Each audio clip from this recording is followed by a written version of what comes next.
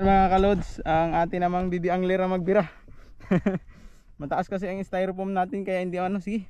Reel. Ya. sige, awak. Siya na naman nagbira mga kalods, sige, reel. Pag nag-release reel. Sige. Up. Ila. Sige. Yeah. Gi, wag mo lang i-vertical na siya doon, Rad. Dati baka mabali. Gi. Tai-tai.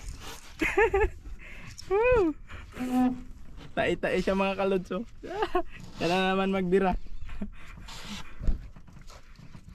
Para maika-experience ng ano, hatak ng mga mamawan mga kalods. Tira. Go. Sige. Wag mo lang ipatay masyado ganyan. Baka mabalian tayo ng ano. Yan. Yan. Sige. Baba. Baba na. Yan. Sige. Baba.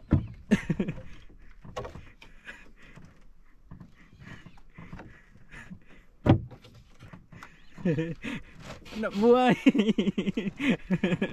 Sige. Woo. Yan. Ang ating baby angler mga ka-brother ang nagano. Bira. Siya ang pinapabira natin.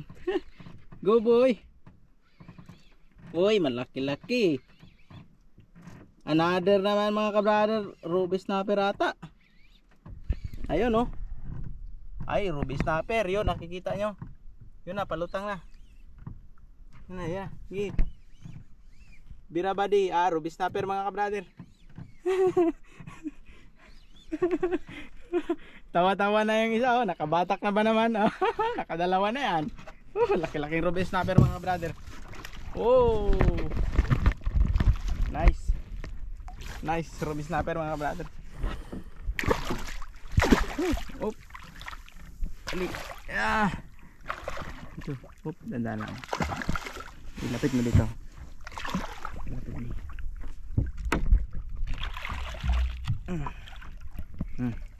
Ito mga Ikaw na. mamigat. Kaya mo yan. Yan mga ka-brother ah. Okay, release mo siya. Yan. Ah. Hmm. Yan. Whew. Ya. Paa mo matinik.